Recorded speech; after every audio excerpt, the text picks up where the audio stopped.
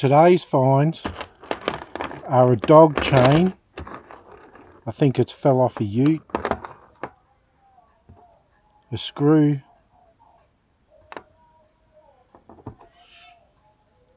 And a nail. And that's what I found while walking today.